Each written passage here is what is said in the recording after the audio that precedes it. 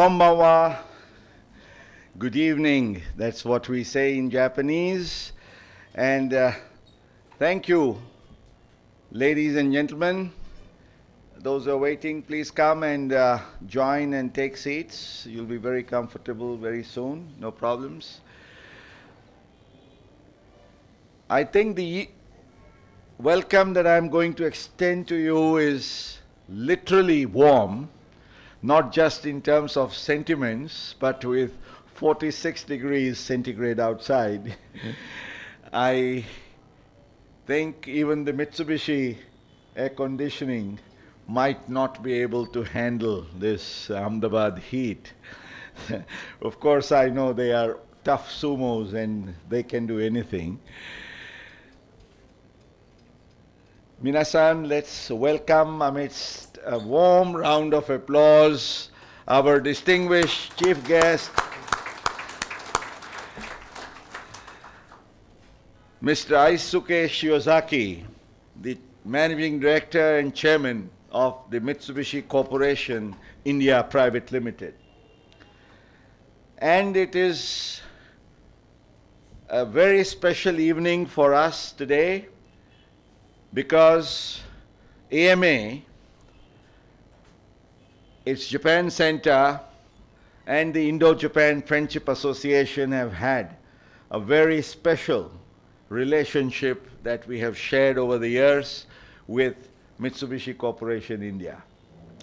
As you know, what came to be acknowledged as one of the country's first and finest Japan centers, which showcases Japan in India.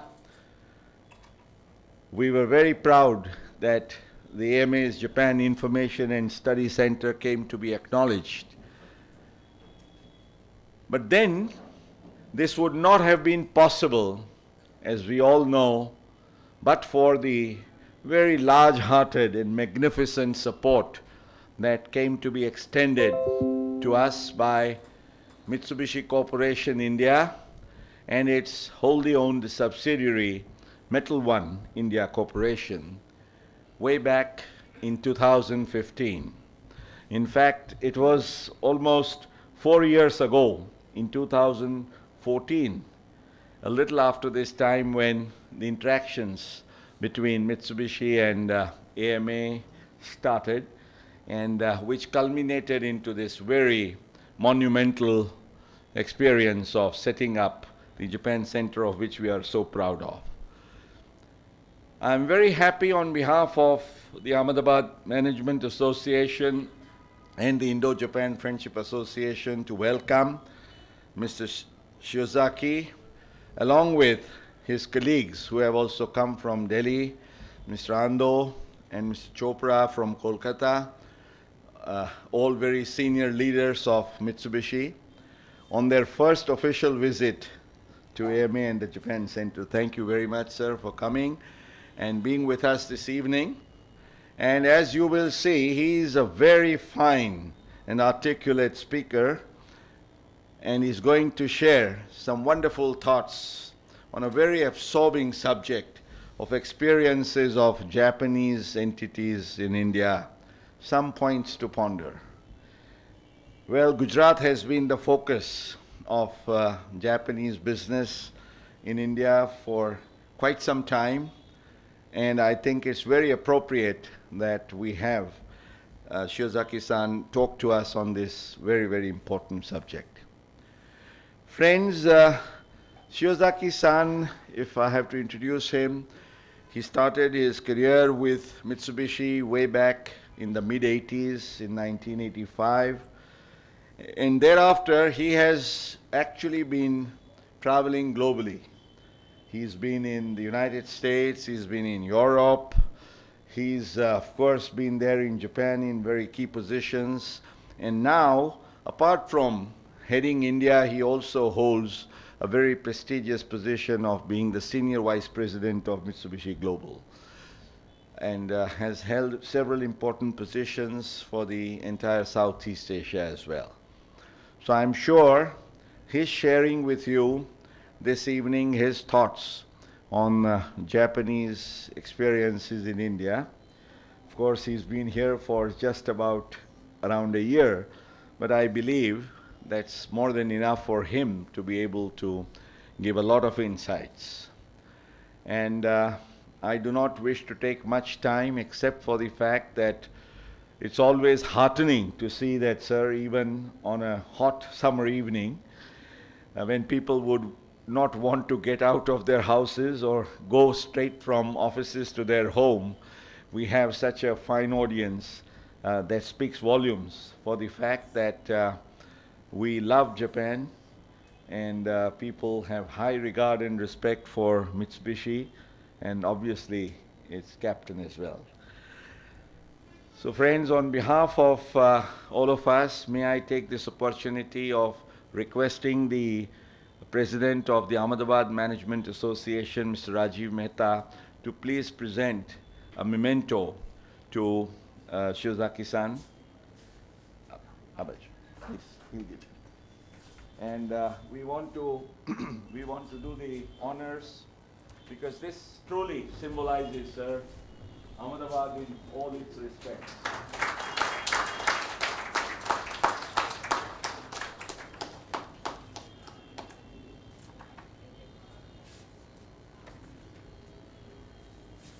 I would take this opportunity of presenting flowers which always, you know, say the best language in terms of our affection and feelings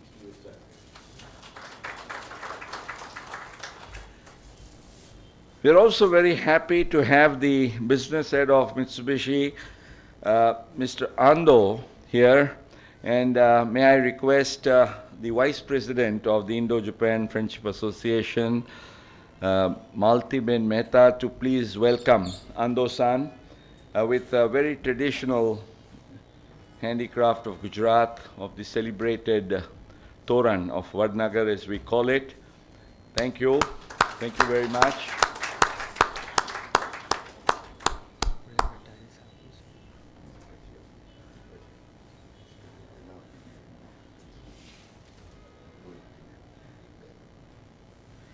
And uh, we're also very happy that from Kolkata, we're having Mr. Rohit Chopra, who is the head of CSR projects of Mitsubishi in India. He's also here. We would like to extend him a very traditional welcome. And may I request uh, Mr. Sandeep Shah, the treasurer of the Indo-Japan Friendship Association, to please present this to Mr. Chopra.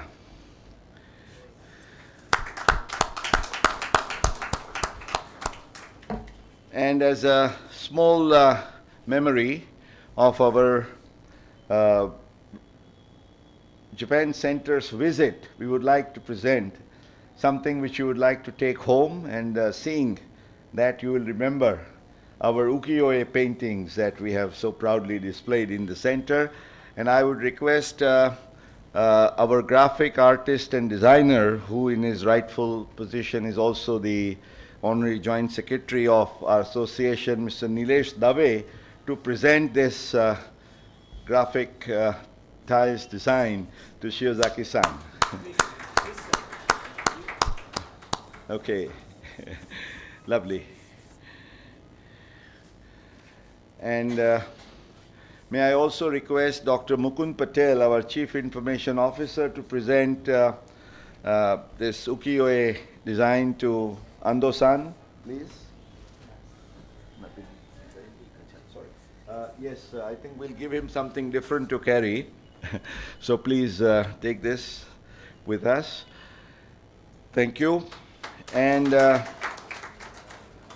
may I invite our Japanese language teacher, Ms. Dipti Chitale, to please come here quickly. And Dipti will present uh, this to Shiozaki-san. Hmm? With, of course, greeting in Japanese as well. Hmm? Thank you.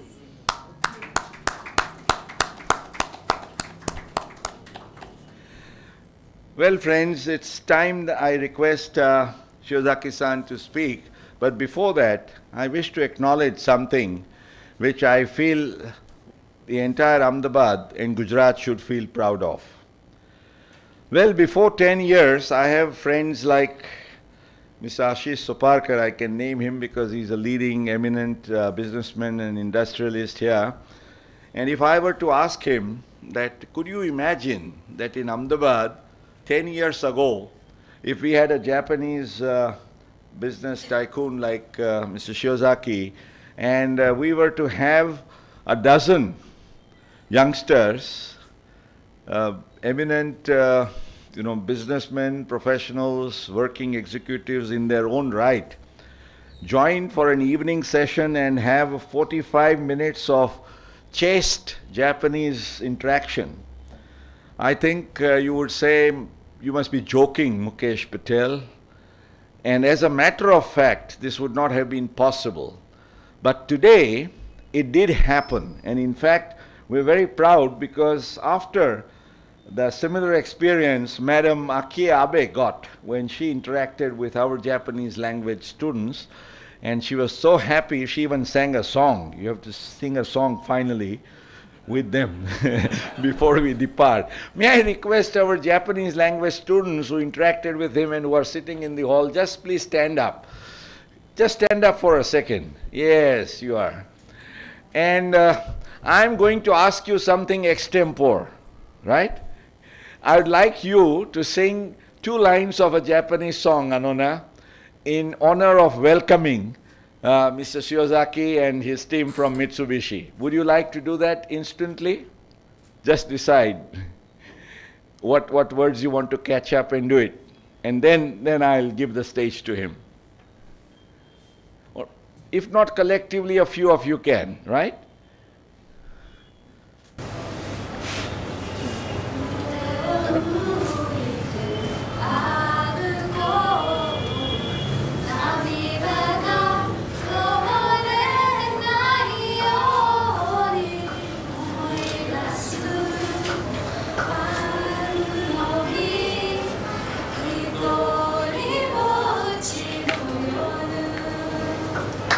Good, lovely, lovely. Thank you so much. Arigato gozaimashita. And it's time we all give a round of applause as I invite Mr. Shiozaki to speak this evening. Thank you, sir. Hey, good evening, ladies and gentlemen. Ano, and thank you for uh, Mr. Patel, Mr. Mehta. Thank you for giving me this opportunity the I haven't learned any Hindu songs yet. The only thing I can sing is ano Jama Kana You know the national anthem, Jana Kama. Yeah, I'm, I'm, but I'm just trying to learn at the moment. So uh, give me a little more time, and the next time I'll sing the whole national anthem for you. Ne?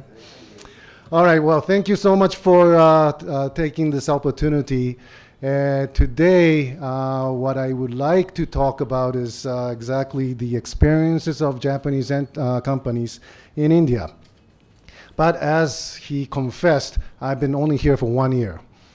And you know one year is not enough to learn India. There's no way. But uh, let me just share with you what I have so far kind of felt about what is the, what is the issues between Japan, Japanese companies being successful in India, and what are the changes that's happening. Um, and I'm going to try to go through it, but there's a lot of words I think you it's going to be too small to read. Uh, just get the flavor of it. That the details are not going to be so important. Okay? So the things I'm going to talk about is I'm just, just going to go briefly five minutes about introducing myself and Mitsubishi. And then I'm going to talk about the uh, Japanese companies in India, but I'm going to look, look into the history and, uh, and see what, what's the lesson learned from this. I'm going to go into my basically talking about the remaining of the time. I'm just going to talk about really three things. One is tactics, and one is culture, the company culture, and the, uh, the finally the uh, mindset. So those are the only three things that I like to just refer to tonight. All right, just my profile. As he mentioned briefly, I was born in 62 and went to New York when uh, John, John F. Kennedy died. I don't remember a thing. But uh, back then, New York, uh, according to my father, uh, was mm, uh, not a very good place to live. I mean, it was still a lot of crimes and so forth. And I think a lot of things have changed since then. I went back to Japan, uh, Japan, then I returned to Chicago in 72. And America was going back now. It's, it was gaining the momentum. It was the bicent, uh, bicentennial days. And so that it was uh, celebrating 200 years of the birth. Now, 200 years of birth, I mean, India and Japan, man, we're like 2,000 or 3,000 or whatever. But anyway, joined Mitsubishi in 85, and I had my first assignment in New York in, from 89 to 95 during the Gulf War days. Uh, I was in the island in the Caribbean, so I was watching the TV uh, when people are fighting the war, and that was very strange days. I returned back to Japan and went to uh, 99 to Düsseldorf, Germany. And um, of course, I didn't see the World Trade Center, but um, the news came and it was a huge shock, uh, as everyone must know. Returned back to Japan, and now, uh, since last year, I've been in New York. So I think I know a little bit about uh, cross culture. But as for Mitsubishi is concerned, I think they know, or Mitsubishi knows, cross culture. We work uh, in around 90 countries and uh, we have offices, about 200 offices around the world. And I think we do this cross-culturing and um, uh, interactions everywhere in the world at the moment. And I think that's our bread and butter for the time being. Mitsubishi in India. Um, as you know, Mitsubishi handles uh, from, um, uh, let's say, uh, automobiles to uh, LNG, lot, lots of things, but few things which we do in Mitsubishi that I'd like to just mention. We will be starting our uh, imports of LNG to uh, India from possibly the end of this year to next year. We have a, a, joint venture with Isuzu in making Isuzu cars. Anyone riding Isuzu here? No. Okay. Only Mitsubishi cars. Ne? Okay. Ma, next time go around, look for Isuzu, please. What about uh, cup noodle? I know, have you gone to uh, Indigo Jet? You know, yeah, yeah? All right, Ma, this is uh, what we do in joint venture. So these are the activities we have in India. So this is just the introduction. I'm going to get into the, uh, the uh, discussion about the Japanese entities in India and uh, how I see it for the time being. I'm going to look into the history, but don't, like I said, it's going to be in fine print, so don't look at the too, too much in details. But India, from a historical point of view, I see just in two pages. One from the independence to 91, and it's 91 onward. So it's going to be just two pages. And um, I am not sure whether this is a def uh, correct definition, but that's how I interpret it. These are the things that happened during the, uh, um, uh, from the independence to the um, uh, 91. And um, I'm not going to go into uh, the details. This line is uh, accumulation of the GDP, uh, which just slowly, slowly evaluated back in those days. Here's the picture which I like you to watch, but names are not important. I've listed the successful foreign companies who are succeeding in India, uh, the companies who have published the numbers so that I can track down, and listed the names and plotted where they have and when they have entered India. As maybe you can see that this first part, and the most, as you may know, the most successful foreign company is in India is Unilever by, by far margin. and there's Colgate, there's Nestle's, um, Cummins, Siemens. These companies were here before the independence or just right after the independence. And they've been doing the Make in India for last 50, 60, 70 years. Whereas you don't see one single Japanese company, I mean, maybe small companies, I'm not talking about small ones, but I'm talking about major companies. You won't see one single Japanese company except Maruti Suzuki. And this came in 1981. 1981 is a year where India financed from IMF, IMF. And from the Japanese company point of view, there was no way in the world that we would go into India and do a make in India at that time of the period of time. I mean, I didn't, I wasn't, I was still a student back then, but I'm sure that if I was in the corporation that there's not going to be any chance of going to India when IMF is still financing. Suzuki did it, and it paid off. And this is not the story that I'm going to tell you today. I think everyone knows about uh, Maruti Suzuki's uh, stories. But all I'm saying is that when you plot it, there's only one single company from Japan in this period of time. Now, the next page is from 1990 onwards. And a lot of things happened, but this plotted uh, line is the GDP, which obviously the numbers are not important, but you see this uh, sharp rise in the GDP. We better start recognizing this country is, I think, the atmosphere that has created, uh, even within Japan. However, as you may be able to see, real entrance of Japanese companies into India comes in around in mid 90s. So companies like Honda, Canon, uh, companies like Daikin, these companies have entered India in the mid 90s. Samsung, Hyundai, big, big winners in, uh, in India. They're also in the mid 90s. And you're trying to figure out why. And I guess my answer is that all the attention of the Japanese companies in the early 90s and 80s to early 90s were focused in China. Japan, Japanese company focused in China and didn't have the resources to come to India. I think Hyundai and Samsung, maybe I'm wrong, but they were struggling to enter China, and maybe that's the motivation to come to India much quickly than the Japanese did.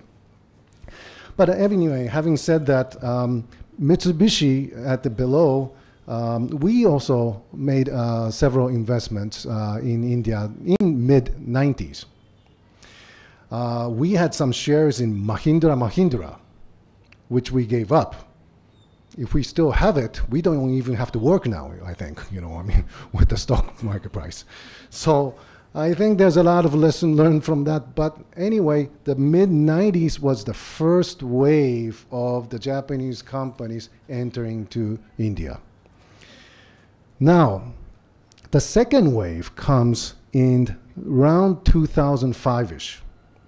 Uh, maybe you haven't heard about Yakulto. I don't know. Yeah, the drink, the little, yes.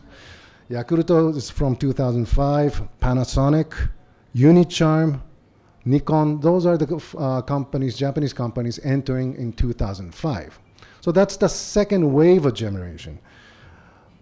But, and you can see the second wave coming because I think the first wave was catching the trend or catching the forecast or catching the uh, atmosphere that this uh, country is going to grow. GDP wasn't growing that much back in the mid 90s, but certainly the companies were looking for some markets after China, whereas 2005, the second wave, they clearly saw this country is going to be booming. And that's why the second entrance was there. Mitsubishi only entered, re-entered, I should say, uh, into India around in after 2012, 13, 14, to be honest with you. Of course, Mitsubishi have been doing a lot of trading business. So we do waterborne trading of uh, machinery equipments to shrimps to a lot of those um, um, uh, items. However, I'm talking about investing in uh, India, making India, and we have really not done much.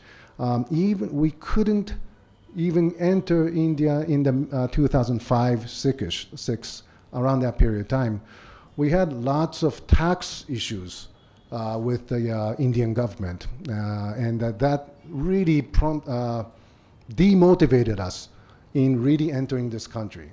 So we're we're behind the second generation. So this is the first wave, and this is the second wave of Japanese company. But as for Mitsubishi, it's the third wave.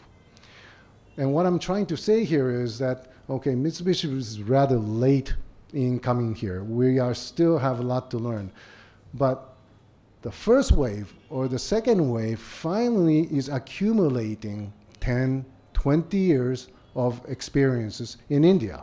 And I think that is important uh, for going to the next slides. And again, don't read the, the you, you will not be able to read it. But the point I'm making here is I've listed from 1 to 20 of the success foreign, successful foreign companies. And you know that Maruti Suzuki, for instance, is the most successful in the listing companies. And they entered in 1981. And all this I'm not going to go into details, but all I'm trying to say here is that real success stories, um, the listing companies I've listed on the top, um, maybe it doesn't show, okay. But anyway, Hindustan Unilever, Bosch, uh, Ambuja Cement, Siemens, Nestle's, these are all 50 year old, 60 year old companies. And that's why they're, they're, I wouldn't say that's why, but they're on the top. Japanese companies or Korean companies who have spent 20 years are finally uh, coming to uh, a very um, recognizable profit margins. Whereas on the last row, for example, like Panasonic's or Yakulto or Kokuyo, uh, Kokuyos, They've been here for about 10 years. Half of them are still in red. So my question is, why does it take so much time in India? Why does it take for a Japanese company to be successful? Why does it take so much time? In the past, and I, was, I was told when I was uh, leaving Japan, the time of uh, uh, time to be spent uh, or sorry, the reason for not being able to succeed in India was largely due to lack of infrastructure and bureaucracy in the government. That was really the two statements that I have at least heard back in the old days of the reason why the Japanese companies were str uh, struggling to succeed. But now, the reasons that there was uh, questionnaires asked to each companies and there's uh, uh, several papers by the consultants and they're analyzing this and I think they're saying what they're saying is that Japanese companies takes lots of time to invest uh, investigate lots of time to investigate and when the when they come in and for start doing the actual business oftentimes the um, analysis from the investigation and actual whatever happens quite differs. It doesn't resemble what the investigations uh, resulted in. So no matter how much time or the money you spent, it was very difficult for Japanese companies to actually grasp what this country is. Why?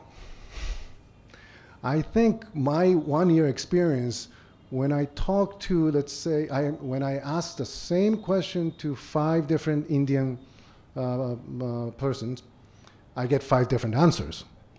And I think this is the image of what I get is um, this is a, a commercial by a, a, map company called Zenrin, where you ask something and I get two different answers which means when I when Mitsubishi starts want to investigate uh, investment or and investigate into India, you ask questions which generates more questions, and then you keep generating questions. And so you don't come to a real good comfort level of really trying to figure out what this is all about. And I think Japanese companies firstly hesitate in not having a clear answer. But the second point is that I think we just try to kind of close our eyes and let's just go with it to, to some extent. And I think there's a lots of time consumption in this uh, learning curve. So I guess point is maybe why don't we focus the investigation? Companies who have succeeded in India, Sony and Unicharm is uh, some examples that I'm listing. And let's not get into details, but for example, as for Unicharm, they have many, many different products. Unicharm have many different products. They only selected baby diapers. So they just concentrated only on one segment. Sony, they have a lot of, uh, as you know, many, many different kinds of uh, appliances.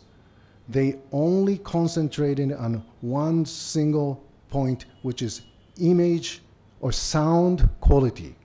That's the only area that they really focused. And I think that is paying off. The focusing of the investigation is, I think, paying off. So, key to success. If I'm Mitsubishi or if I'm a Japanese company and if I want to enter uh, India and, and if I'm going to ask the same question and I'm going to have 10 different answers, let's try to focus a little bit. And when I say focus, I'll give you one example. Let's regionally focus. So, I'm going to talk about regional focusing.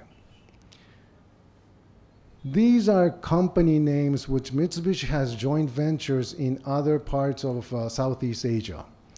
Uh, for instance, our biggest, biggest success story is in Thailand. Uh, we have a Isuzu joint venture, and it's a huge, huge success for us. For example, uh, with Mitsubishi Motors, we have a joint venture. Um, this is in uh, uh, Indonesia. Uh, Mitsubishi Elevators, we have a joint venture in Vietnam. But these entrants of these, uh, these markets are all divided by countries.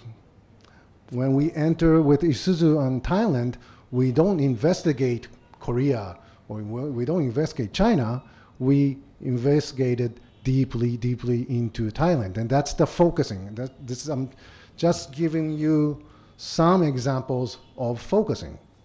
So, when we talk about India, what I learned is GDP, average per capita, $1,700. Literacy rate, 74%. Poverty, poverty rate, 20, 21%. So is this the real picture of India? I mean, I, I don't know. I mean, you, you probably know. But this is, this is whole India on average. And I don't think this really represents where, for instance, if I want to sell my elevators, or if I want to go to Isuzu uh, to market my Isuzu cars, I don't think I'm going to use these numbers to figure out what kind of marketing I should be doing if, if the poverty uh, uh, literacy rate is 74%, I'm not going to put any uh, language. I'm going to put probably our uh, animation, Japanese animation manga or something for people to understand. So I think there's a big distinct difference in terms of focusing where you're going to um, market or where you're going to enter. And so focusing is probably going to be really what to focus is, of course, is a very difficult uh, point to um, um, decide. But I think that is something that we have to really, really, as of Mitsubishi is concerned, have to really focus and narrow down to understand uh, part of India. And I think that's going to be the start for us. Just to give you an example of why we think that approach is correct is because As you know, this is a map of India, but there are all the um, ASEAN countries uh, from population point of view or even from the GDP point of view is inside of India. So when we discussed, let's say I want to go into uh, uh, establishing a Isuzu car and I succeeded in Thailand, why don't I just go to Rajasthan because it has the same population? I mean, I don't have to look everywhere else. I mean, I think maybe that's part of the strategy. Even the cities itself is GDP in similar.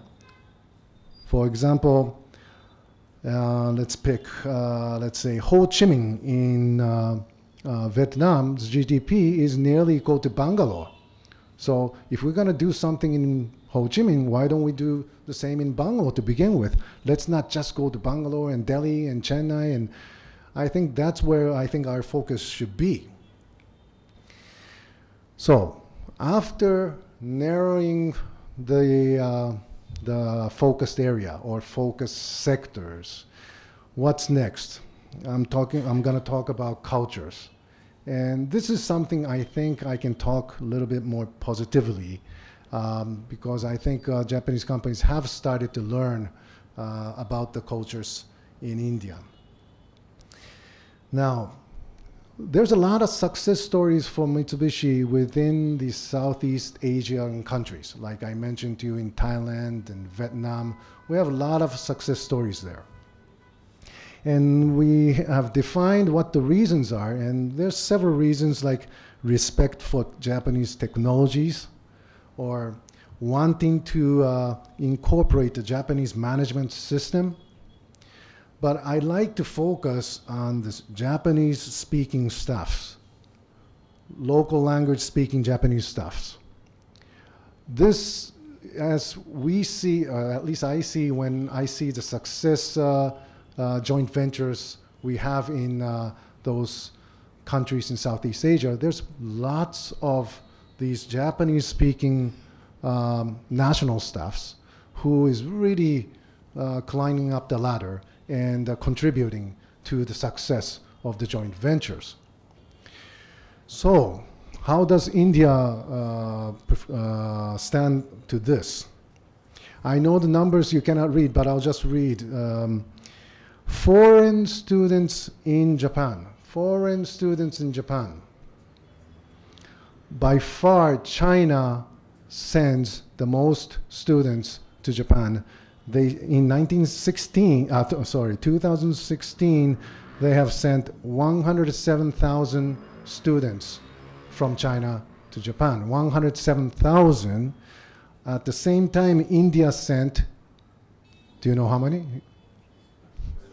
1,200. So it's 107 1,000 against 1,200. But even between those countries, there's a lot of countries who sends in big chunks. Vietnam is number two in sending 60,000 students to Japan, 60,000 students. Nepal sends 21,000. I thought their population is lower than 21,000, but they send 21,000 students in, I'm joking, yo. I'm joking. I'm joking. I know. But anyway, these numbers means a lot. Means a lot because they not just speak the language, but they understand the cultures and they spread the words and they under, comes uh, uh, narrows down both side of the cultures and that's how i see the success uh, key success in the joint ventures within what Mitsubishi has in Southeast Asia. The other uh, chart represents foreign students studying in Japan. Foreign students studying in Japan. Once again, China is the biggest. Um, no, no, sorry, sorry. This is no. Foreign students studying Japanese. Just simply Japanese everywhere, anywhere in the world. So we have uh, 10, 15 uh, students today, all inclusive. Yeah, China has 953,000 people studying Japanese. 953,000. Second place is Indonesia, 745,000. South Korea, 550,000. While we go down the list, India, including these 15 students today, 24,000. 24,000 opposed to China's 953,000. But the amazing point is, China, out of the same population as India, basically, one China uh, has one student learning Japanese per every seven people in the population. Every seven, one, oh, no, sorry, sorry, sorry, one more thing. Seven students per 10,000 uh, uh, people in China. Seven out of 10,000 is learning Japanese. Okay? India, 0.18 per 10,000. So you are very, very valuable. Well, thank you very much. But all, all, I'm trying to say is, okay, this is just a snapshot of 2016. But between China and India, of course, China is the top place and uh, India is in the 12th uh, ranking. A lot of the countries in between is where Mitsubishi is succeeding. The countries like Australia, Thailand, Vietnam, Philippines, Malaysia, these are the countries where Mitsubishi is really succeeding in joint ventures and um, making production facilities. And I think this Japanese speaking uh, staffs, employees, um, does help, does help the bridge of the uh, cultural differences. And it's vice versa, of course. But I think this is one big uh, success stories uh, that we have learned from southeastern uh, countries, which would we would certainly would like to apply into Indian uh, India as a country as well. So, last uh, message from this slide is to be very honest with you, everyone speaks uh, two languages at, at most people, I think, in India, because you have the local language and you have the English. And I, really admire that. Huh? Three? Hindi. Oh. Three. And I feel that you don't feel the necessity of going to one more foreign language because you have plenty of the capability of speaking different languages. But I think in order to go global, or at least to uh, integrate with the global companies, that one more foreign language other than English would really, really go a long way. It doesn't have to be Japanese, yo. It could be anything uh, of your choice. But I think because Jap in Japan, we Japanese is the only uh, uh, uh only uh, people who only speaks Japanese. Eh? know there's no other countries that speaks Japanese. So we try English because that's the hardest we can go. But we think that English is okay, have to be a basis of our uh, battle within the uh, globalization. But within Japan, I think the second foreign language is more highly, um, I shouldn't say respected, but more valued um, although a lot of Japanese haven't been successful, including myself, um, I think the importance or the value of this one more foreign language, I think I would like India to kind of start incorporating because I think the uh, future for India is going to be uh, in par and getting aligned with these global um, companies and global uh, networks around the world. Okay, so uh, if uh, having said all this, these um, cultural differences, we say cultural differences, but particularly on the company culture, of course, in the past, there was a lot of difference. Japanese loves trust and monocultural, but you have this jugaad, which I'm still trying to learn. But uh, but um, I like it actually. I mean, I, I like this concept, but it's a cultural difference, which we used to have a we which you, we used to feel a big big gap between these two um, cultures. But as the business grows, I think this, uh, there's uh, something is starting to narrow down. The cultural difference is starting to narrow down. Japanese loves lifetime employment uh, in the past, yo, I know in the past, a little bit in the past. Seniorities. And Japanese always tries to make generalists. I mean, that was the tendency when I joined the company. I think Indians uh, go for more specialist type of uh, uh, creating a co uh, company culture. And uh, of course, there's a lot of contract employments in this country. That still probably continues.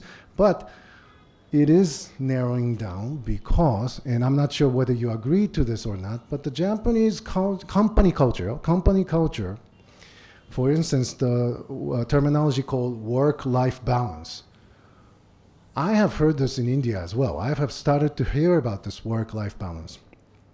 Performance based. This is starting to hear. And Japan has started to, well, maybe started a little bit long ago, but now it's finally fitting in. The self decision or the professionalism, these things, I think there's going to be some kind of a um, narrowing down of these two company cultures.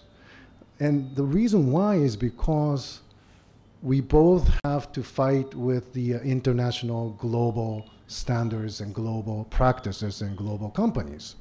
So I think it's no brainer that we don't, maybe we don't uh, intentionally try to narrow it down, but we are narrowing down. And I think we will be surprised when we start really thinking about it that maybe we're talking about uh, a same type of culture heading to the same type of directions.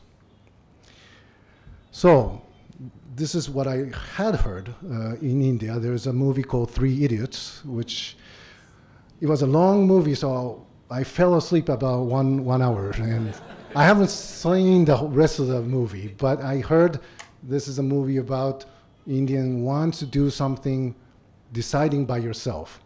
And I think that's the similar culture where the Japanese young generation is going. I entered Mitsubishi without really thinking too much. I mean, just kind of entering and see what happens. But now the, um, because my father was a salaryman, so I, I thought I would be the salaryman, and I didn't really think too much hard about it.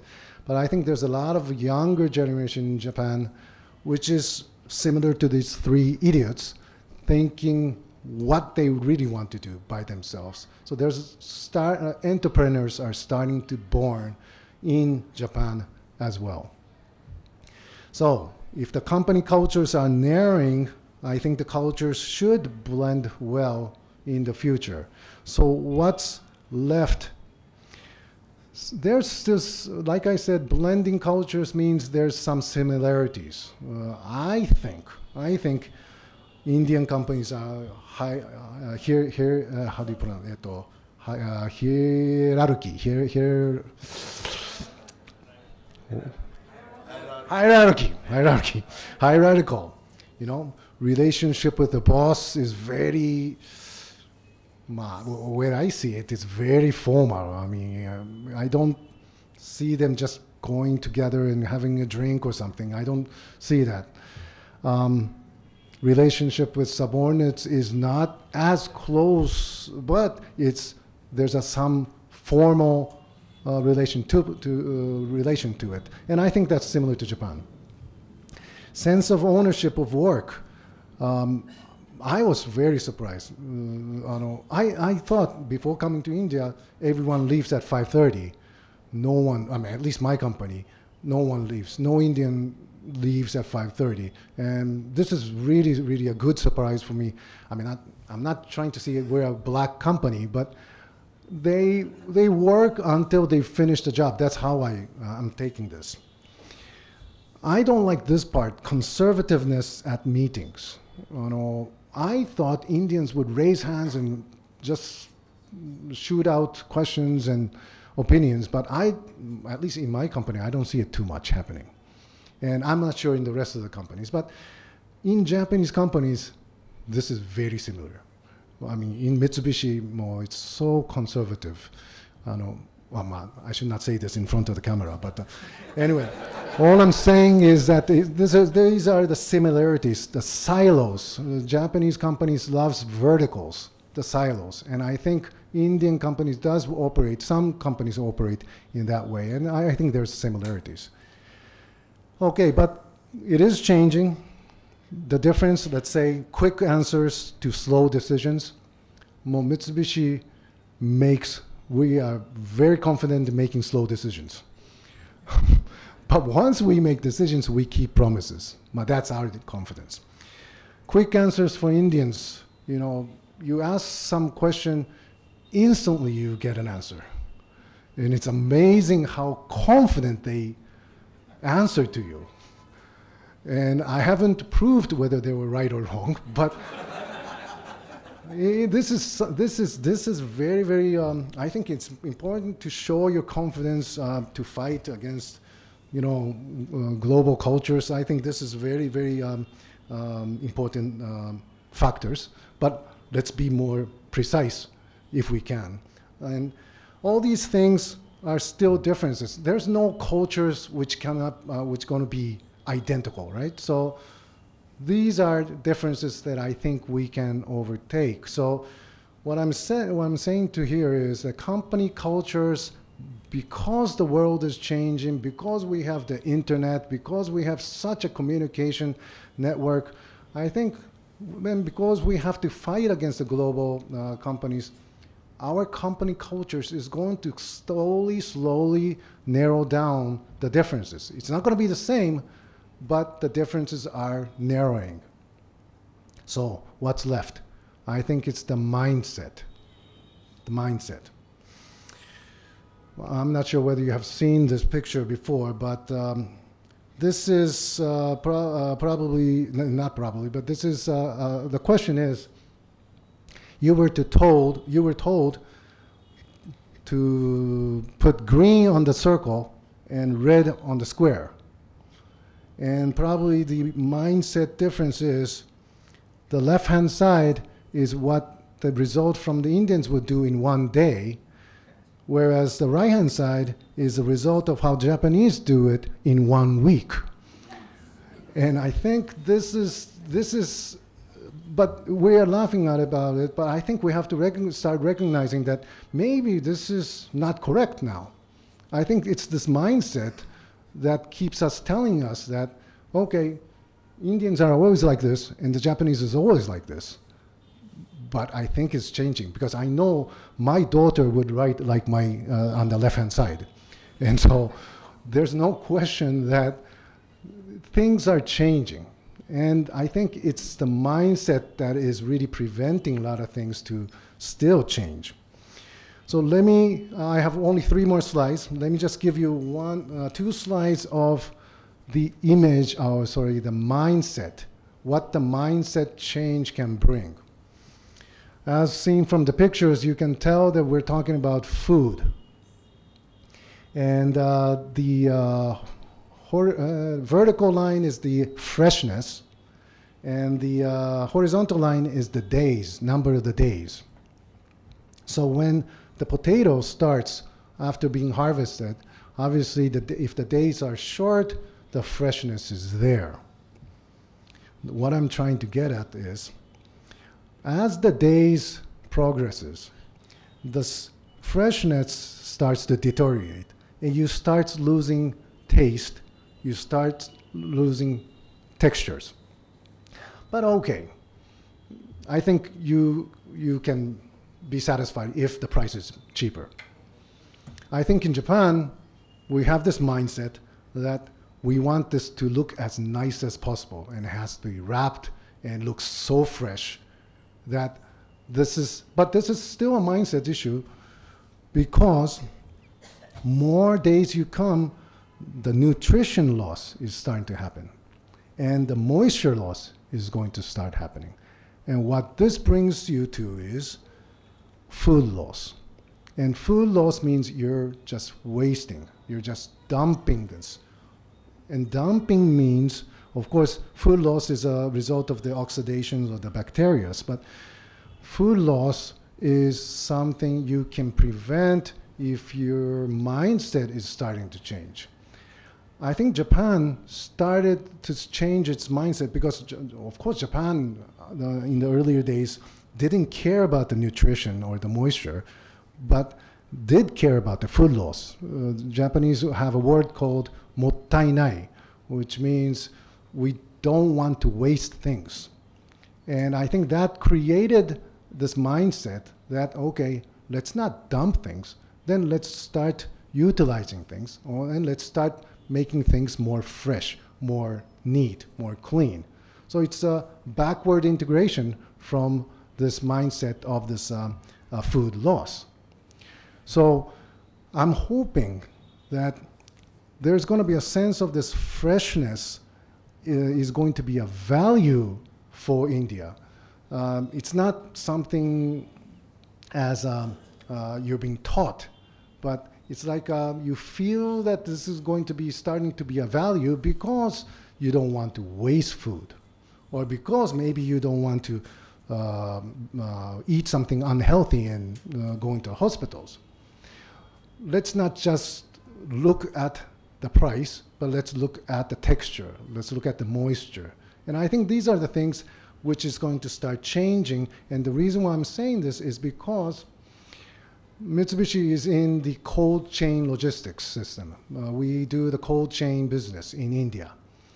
And um, usually, if the mindset of the consumers want fresh food, then the whole value chain covers from the farm to the consumers.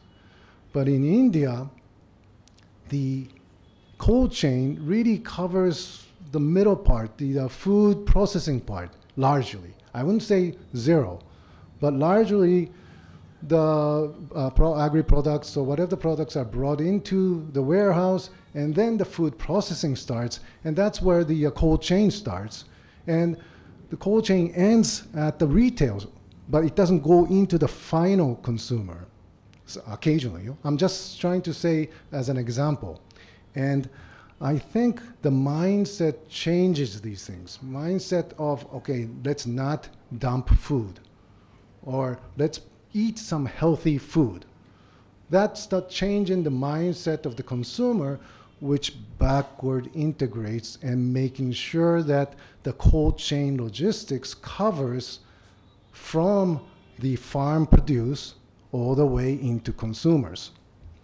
And this is where I think the Japanese companies can really contribute uh, by giving technologies of uh, uh, cold chain logistics or networking, um, um I, I, IT, AI, AI kind of um, technologies. I think that's where the Indian companies and uh, Japanese companies starts to uh, blend well.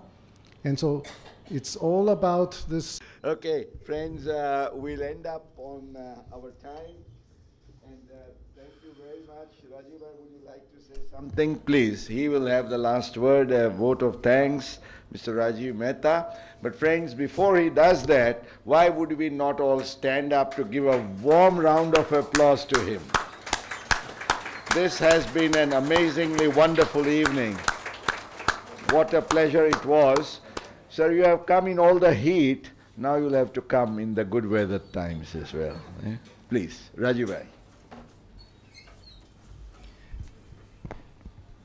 Thank you very much for the uh, wonderful presentation uh, about the uh, tips in India. I, will uh, use your last line uh, of Three Idiots. Uh, what we are doing, our tactic is to create a culture which is pro-Japanese. And if you see the mindset and if you see the figures, you presented that in 2016, there were 1,230 six students who are learning Japanese, and we are proud to mention that 500 plus students have learned Japanese from AMA. And through uh, your support, uh, in uh, the uh, Japan uh, study circle. So this is what we have done and we are creating this culture and uh, we are moving towards the trend. So it is very good that you came and motivated us further. I am really thankful for that. And uh, uh, I look forward to have many more interactions and involvements uh, in creating the culture and the mindset, especially in Gujarat. And as you said, the same strategy we are following, uh, uh, it is the regional, and so we are Ahmedabad Management Association. So if you see percentage in Ahmedabad about the uh, knowledge and opinion and also interest in Japan, you see the numbers here, and we are very happy for that. I thank all of you to be here uh, together with us today uh, uh, to have this wonderful session. Thank you very much, and uh, uh, I thank all the people here. Thanks.